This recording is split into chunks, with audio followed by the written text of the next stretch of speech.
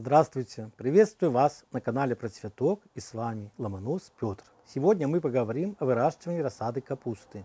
То есть то, что можно посеять в апреле, каким капустам дать предпочтение и когда получать с них урожай. Какие ошибки делают наши огородники при посеве капусты, почему она не удается и почему она потом болеет. Обо всем этом пойдет речь в сегодняшнем ролике.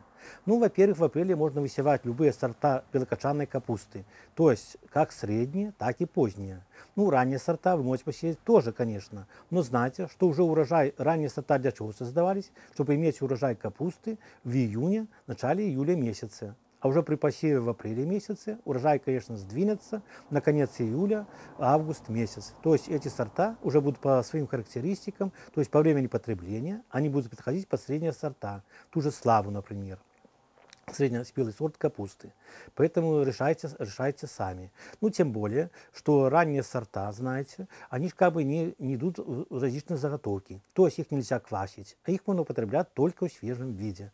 Поэтому сильно увлекаться посевами ранних сортов уже в апреле месяце не стоит. Вы можете, конечно, для разнообразия посеять немного, но предпочтение дайте средним сортам, потому что та же самая слава, подарок среднеспелые сорта, они имеют, э, значит, не такое хорошее вкусовое качество в свежем виде, но их можно и заквасить даже.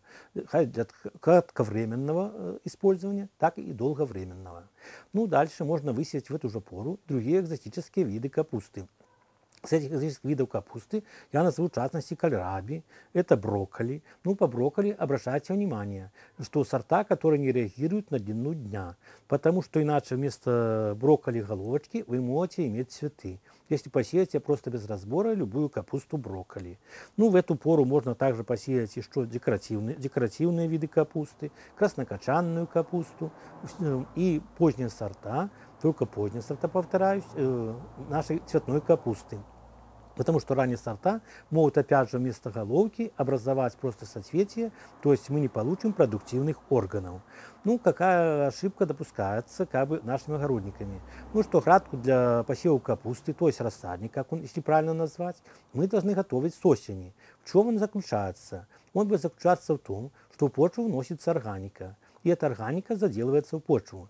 Потом с осени нежелательно, или это может, даже обязательно может быть, сказать более правильно, это известкование почвы. Известкуем почву доломитовой мукой, известью, мелом, все это произвестковываем. Почему с осени произвестковываем? Потому что под действием э, талых вод, снега, наш, наш известковый материал, он просто-напросто распределяется по порам по всей э, глубине пахотного слоя. Распределяется по пахотному слою, соответственно, вся почва к весне у нас раскисляется, то, что нам надо. Потому что капуста – это одна из тех э, немногих культур, которая переносит свежий навоз и которая любит известковые почвы. Если такие условия есть, она не будет болеть. Следующий нюанс по э, цветной капусте, что весь урожай, как э, сказано всюду, начинается с рассады. Так вот, чтобы наша рассада не повреждалась э, черной ножкой, чтобы не появлялась кила капусты, наши семена необходимо обработать. Конечно, молодцы голландцы. Если вы купили голландские семена, они уже обработаны, поэтому мы их сразу высеваем. Если у нас семена отечественного производства, они, как правило, не обработанные. Так вот, для того, чтобы наши э, капусты не болели, мы сделаем следующую обработку. Первая обработка, значит, э, семена мы прогреем в горячей воде. Горячая вода, температура 48-50 градусов, меряем термометром, выдерживаем семена 20 минут.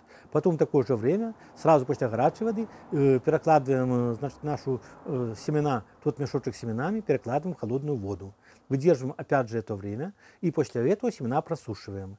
Э, почему просушиваем семена? Потому что если их держать во влажном состоянии, буквально на второй-третий день они уже наклюнутся что создаст определенное неудобство при посеве и можно будет семена протравмировать.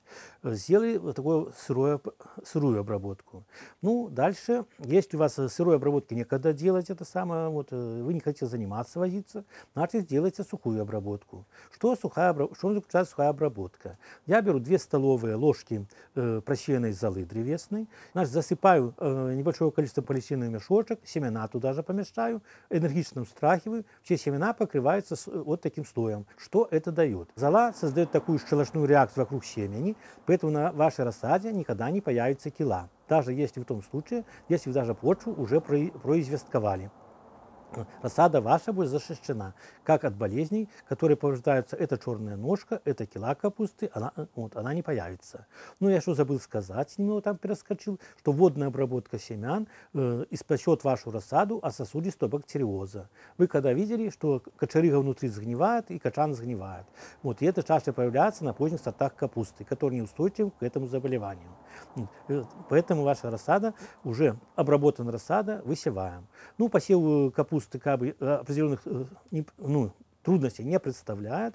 Семена засыпаем в щелочку, сеять руками, мочат, э, сеять любым способом. Посеяли, накры... градку после этого обязательно проливаем водой и накрываем полиэтиленовой пленкой. Полиэтиленовую пленку мы берем, прижимаем арматурами какими-то, досочками прижимаем и ожидаем всходы. Обычно на пятый-шестой день появляются всходы в открытом грунте, потому что уже в апреле месяце занимать закрытый грунт на рассаду это как бы нецелесообразно. Появились всходы, ваша капуста будет развиваться прекрасно и расти, и она будет здоровая и крепкая.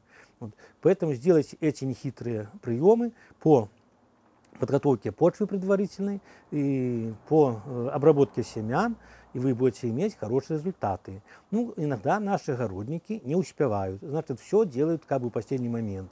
Вот они копают почву весной и все, и высевают рассаду. Можно, конечно, и так делать, но знайте, что в этом случае почва очень рыхлая, и капуста не образует хорошую мочковатую систему. Корень такой длинный, э, получается, и неразветвленный. Поэтому такая капуста, ну, как бы приживается труднее, чем та, которая посеяна на той почве, которая была подготовлена с осени. Потому что за зиму почва оседает, становится более твердой, и капуста дает более мочковатую систему и большее количество корней. Так что выбор за вами. Делать подготовку градок весной или делать подготовку градок осенью. Я рекомендую осенний, а вы сами выбирайте. Удачи вам и хороших урожаев. До свидания.